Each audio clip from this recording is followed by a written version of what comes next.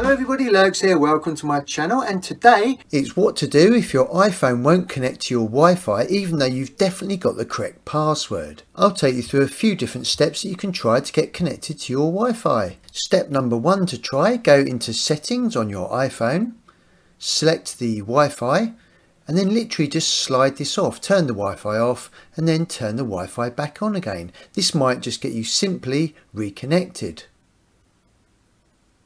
If not, then step 2. In settings, scroll down and select general, then scroll down and select date and time. Make sure that date and time is set to the current date and time.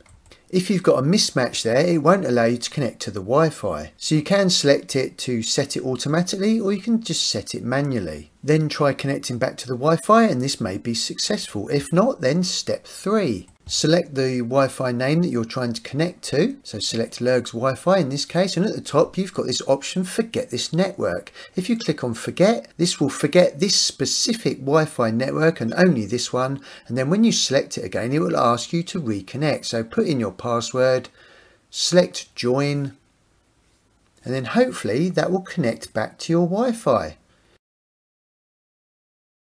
If not then step 4 and step 4 will quite often cure your issue with not connecting to the Wi-Fi and this is turning off your main Wi-Fi router. If you can find the switch on it on this particular Virgin one it's at the back, switch it off for 30 seconds and then switch it back on again. If you can't locate the switch just turn it off at the mains plug.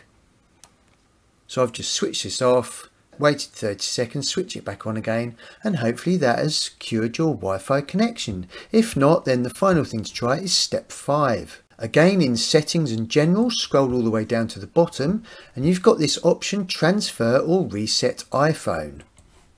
Select the reset option and this gives you five different options.